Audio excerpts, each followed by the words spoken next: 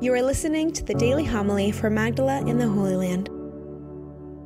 After Jesus had fed the 5,000 men, his disciples saw him walking on the sea. The next day, the crowd that remained across the sea saw that there had been only one boat there, and that Jesus had not gone along with his disciples in the boat, but only his disciples had left. Other boats came from Tiberias, near the place where they had eaten the bread, when the Lord gave thanks. When the crowd saw that neither Jesus nor his disciples were there, they themselves got into boats and came to Capernaum looking for Jesus. And when they found him across the sea, they said to him, Rabbi, when did you get here? Jesus answered them and said, Amen, amen, I say to you, you are looking for me not because you saw signs, but because you ate the loaves and were filled. Do not work for food that perishes, but for the food that endures for eternal life, which the Son of Man will give you. For on him the Father has set his seal. So they said to him, What can we do to accomplish the works of God? Jesus answered and said to them, This is the work of God that you believe in the one he sent. The Gospel of the Lord. Praise to you, Lord Jesus Christ. Since all of us are here in the area and you're living in Tiberias, imagine this is the, this line in John's Gospel. It's a little intriguing. I would like to know the answer. It says, Other boats came from Tiberias in the direction of Capernaum so we know this piece of the lake very well. And it, other boats came from Tiberias near the place where they had eaten the bread. So, where did that miracle happen? We obviously remember it near uh, Capernaum, in, in, in Tabgha. Uh, there's a memory there in Tabgha for the multiplication of the loaves and the fish. But it's interesting how to combine that data with this fact. And the name Tiberius is later than the time of Jesus. Herod Antipas has named Tiberias the capital of Galilee in the year 19. So, in 10 years, that may not have changed the name of the lake yet, but in a few generations, since the city becomes important and is the capital, eventually it also will be the seat of the Sanhedrin for a while, and then it's, um, it gives the name to the lake but the lake wasn't called Tiberias before. So in John's Gospel, it's called Lake Tiberias, you know. So then it's interesting that we have um, this fact uh, here just to combine from a point of view of geography where the miracle happened. It's, I think, an open question, and I wonder what place along here would that could that have been. It's interesting. Jesus went up on the mountain afterwards, and they went off in the boats. And other boats came from Tiberias near the place where they had eaten the bread, when the Lord gave thanks.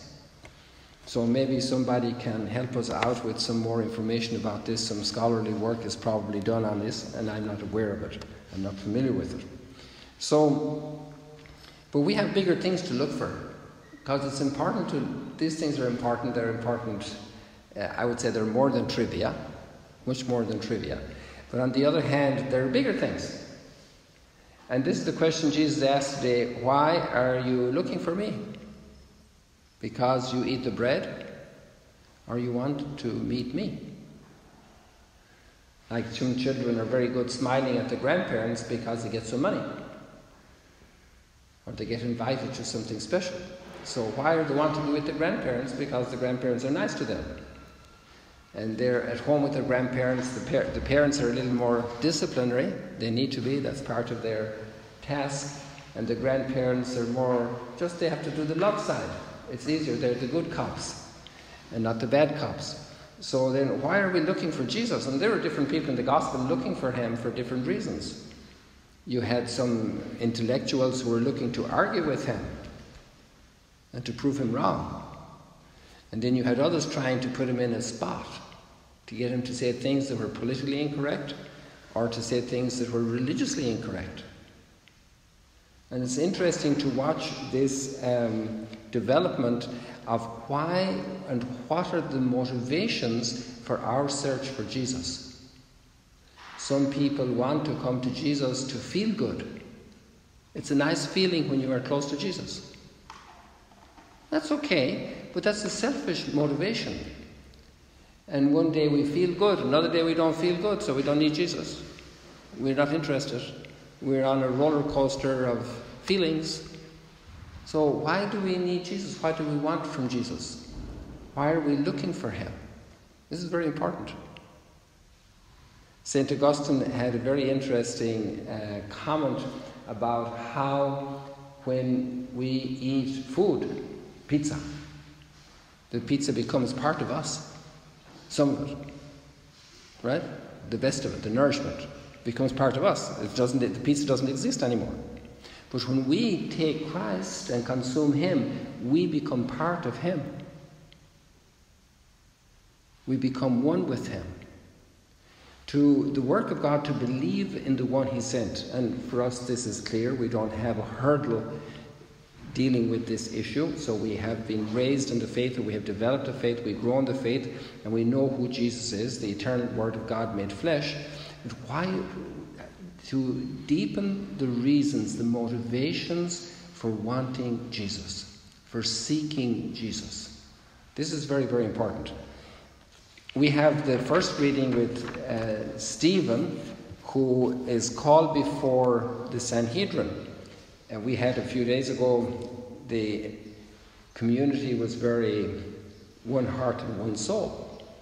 And then the next reading, they're fighting over the Greek widows not getting a fair share. So then they have the wonderful gift of the diaconate of the seven who were chosen to be deacons. And Stephen is one of these.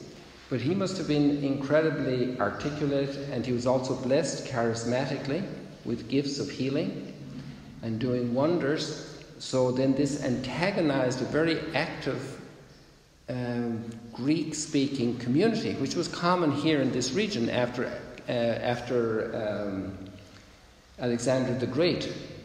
And the Jewish people even translated the Bible into Greek in Alexandria, in Egypt. And so we have a very vibrant community that's very active and they really accept the message of Christianity. And this has produced a tremendous school of theology, various schools of theology in the Greek world, right? And then you have the uh, classical Aramaic speaking and Hebrew scholarly trained scribes and Pharisees, and there are thousands of them have become baptized. And so there's an antagonism, there's a tension. Many times we get into tensions and antagonisms, it's really not over the matter, it's over envy and jealousy. Those are the factors that power even the Reformation of the Church, the Lutheran Reformation in Germany, was probably more powered by politics than by theology. And then afterwards it got ingrained with pride and stubbornness, and the war, 30 years' war, it made horrible deep divisions bigger than the Grand Canyon. So, this is a, a, big challenge to see what are the motives that are driving us to do anything in our life and especially to make great decisions and affiliations and alienations in religious matters. And so let us ask for that grace. Blessed are those who follow the law of the Lord, who seek. Let us ask for the grace to seek Christ as our Saviour, to seek to adore God through the gift uh, given in Christ, to adore Him in the Eucharist, to hear His word, to have our life transformed not just to get some consolations and feelings for us to feel good. Thank you for joining us today. If you want to learn more about Magdala, follow us on YouTube and on Facebook.